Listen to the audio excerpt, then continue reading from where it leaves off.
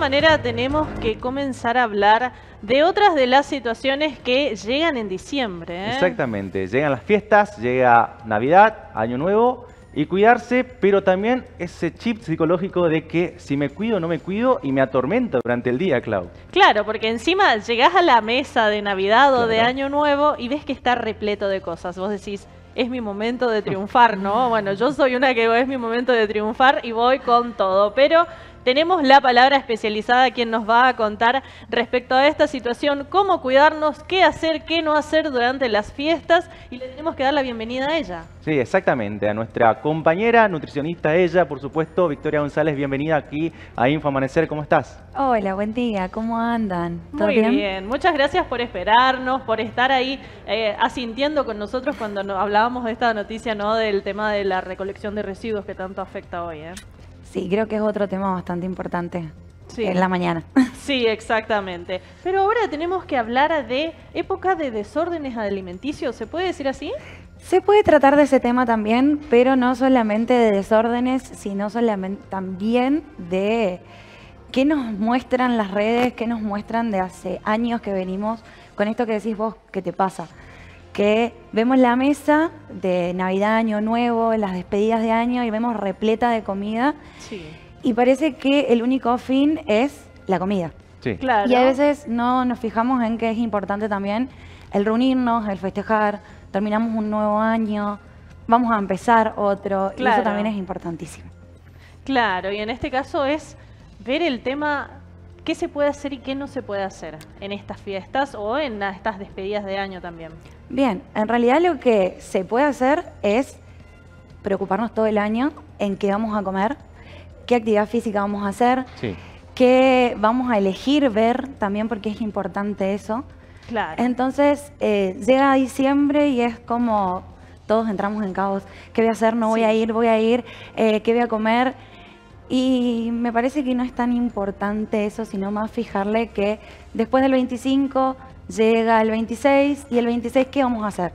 Vamos a arrancar con nuestra nueva alimentación, vamos a hacer actividad física, entonces preocuparnos más por los otros días siguientes más que por esas fechas en particulares y disfrutarlas un poco más en familia, con amigos, depende de cada uno cómo elija pasarla. ¿Es quitarle protagonismo a la comida en sí, Vito, o es otra forma de ver cómo serían las fiestas en particular?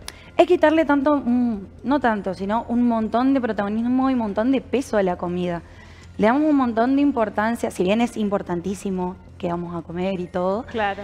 Pero también darnos nuestros gustos y eh, decidir que esas fechas como Vieron que en esa fecha es particular el panqueque alemán, el Viteltoné y todas esas cosas como por supuesto, que dejamos todo para eso, ese fin de año.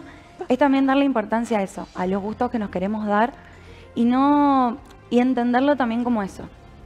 Eh, y al parecer hoy, bueno, la inflación es el gran dietético, eh, porque realmente es imposible. También es eh, muchísimo. Claro, la otra vez me fui a, la verdulería, dos manzanas, mil pesos, y es como, Complicado. La ensalada de fruta va a estar complicado entonces, así que bueno, eso también va a ser otra cuestión a tratar, ¿eh? el tema de los precios que se van a manejar en estas fiestas, qué es lo que se va a poder hacer, qué es lo que no se va a poder hacer y cómo continuamos una vez que finalizamos este, este atraco, por decirlo de alguna manera, de las fiestas. Sí, así es. A ver, como les decía, una vez que volvamos al 26 o volvamos al 2 de enero, es ponernos a plantear, listo, voy a volver a mi alimentación normal, voy a volver a comer verduras, volver a comer proteínas, tomar mucha agua, que ahora es importantísimo con los calores que estoy haciendo. Eh, hacer mi actividad física, buscar una actividad física nueva para hacer. Y si vamos a salir a caminar, ponernos mucho protector solar también. Eh, Víctor, con respecto a lo que está pasando, muchos calores, casi 45 grados de sensación térmica, que es un montón. Vimos recién hace un rato esta triste noticia en Corrientes del fallecimiento de una persona. Cuando se hace actividad física, ¿qué se recomienda comer antes? ¿Se recomienda comer antes? Eso es en signo de interrogación. Y por supuesto también, ¿cómo llevo una dieta? Porque quizás muchas personas están con su trabajo o tienen los horarios desacomodados ante una persona que quizás está de vacaciones y tiene día libre. ¿Cómo reacomodamos todo eso con respecto a estos calores que también es un rol fundamental? A ver, siempre es importante comer, sea antes y después del entrenamiento lo que tenemos que decidir antes de entrenar siempre es una comida más liviana. Siempre vamos a elegir igual también en particular, esto hablo en el público general, no en algún deportista ni nada de eso, es elegir una fuente de energía, un hidrato de carbono que nos dé energía para realizar esta actividad física. El agua también es importantísimo antes, durante y después de la actividad física. Y esto que me preguntabas de eh, cómo organizarnos el día a día, es eso, tener el día anterior que vamos a comer para organizar las comidas, el desayuno, la media mañana, el almuerzo, la media tarde y la cena. ¿sí? Muchas veces también preguntan el tema de las vacaciones porque como estamos eh, descansando y todo eso, también es difícil de acomodarnos y elegir una buena alimentación. Es cierto.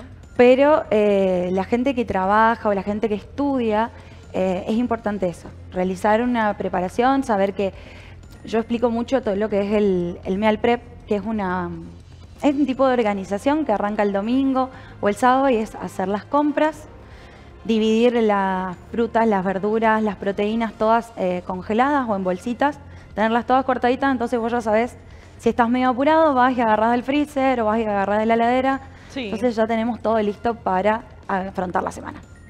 Perfecto, ¿eh? la verdad que esa es una de las, eh, de las mejores, mejores organizaciones que yo considero también, más para aquellas personas que eh, tienen a diario no esto de, andar de andar de vivir el día a día eh, afuera por ejemplo no y qué, qué recomendás para aquellas personas justamente que están todo el tiempo afuera qué pueden llevar porque obviamente la fruta siempre va a estar presente, ¿no? Obviamente, y la botella de agua. Pero ¿qué más puede llevar una persona si tiene que andar todo el tiempo afuera, por ejemplo?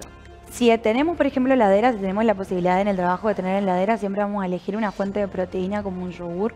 Claro. Unas granolas, unas barritas de cereales. Eh, no las marcas tan comerciales porque son puras golosinas, pero marcas en particulares que son un poco más saludables, que son fuentes de proteína, fuentes de fibra. Entonces tenerla o llevarnos de nuestra propia casa alguna, eh, algún tupper, alguna lonchera con un sándwich, con eh, queso, con huevo, con tomate. Entonces como que tenemos eh, esas opciones más fáciles. Bien, tenemos un montón de recomendaciones en sí, pero por supuesto, ¿qué nos puede faltar en la dieta en sí? ¿Qué comida, qué fibra, qué es lo que necesitamos nosotros, un nutriente en particular, para mantenernos activos? Porque si comes mucho te cansas, te dormís. Si te haces otra actividad física, quizás comiendo también te desgastas un poco más. ¿Cómo tenemos ese equilibrio, Vicky? Tenemos el equilibrio porque venimos, en realidad la idea es venir haciendo todos los días más o menos lo mismo. Viniendo comiendo mejor, viniendo haciendo actividad física, elegir una fuente de proteínas magra, tener nuestra fuente de hidrato de carbono que nos va a ayudar a mantener la energía. Porque hay muchas personas que demonizan, o muchos nutricionistas en realidad, que demonizan los hidratos de carbono y no son tan malos como parecen. En vez de eliminar los hidratos de carbono, eliminemos un montón de cosas que vemos día a día, entonces nos taladran la cabeza peor que un hidrato de carbono. Perfecto, eh, me gustó, ¿eh? ¿Te gustó? Sí, yo, la verdad que a mí me salvó. Sí, la verdad que sí, sí, porque él, él sigue a raja tabla, ¿eh? Tu, todos tus consejos. Sí, si no me un martillazo acá tengo. Pero y otra, otra de las cuestiones que también eh, tiene mucho auge, ¿no? Ahora, es el tema de eh, la, dieta, ¿cómo es que se llama? Del ayuno intermitente. El ayuno intermitente, exactamente. ¿Es recomendable para esta época del año? En realidad el ayuno intermitente viene hace mucho tiempo. Eh, yo creo que hay personas que le sirven un montón, que sirve a regular nuestro hambre emocional más que el hambre real. Estamos tanto tiempo sin comer o sin ingerir alimentos sólidos que el hambre emocional no va a, llevar, va a llamar en algún momento, pero es como que va a estar un poco más tranquilo. ¿sí? Entonces saber que vamos a pasar tanto tiempo sin comer es como que la cabeza puede jugar en contra. Es depende de cada persona. Para mí, cada alimentación es depende de cada persona. Por eso está bueno eh, no realizar cosas que se ve por internet, porque no sabemos si estamos eh, aptos, capacitados o bien informados en realidad para afrontar esa alimentación. Claro, sí, porque la verdad es dejar, es muchos lo que hacen es dejar de golpe, ¿no? Este tipo de alimentación y bueno, y por ahí puede llegar a generar algún tipo de conflicto en el organismo si eh, venís ya de una alimentación no tan, eh, o una alimentación abrupta eh, a, comparación de lo que es ya un ayuno intermitente. No, por eso, cada persona es un mundo, entonces necesitamos conocer, saber qué hace, qué no hace, qué gustos tiene, qué le, le es más fácil o qué le es más difícil realizar a esa persona. Creo que el ayuno intermitente es una herramienta muy, muy buena pero hay que saber y conocernos y dejarnos ayudar también por los profesionales para afrontar esta alimentación.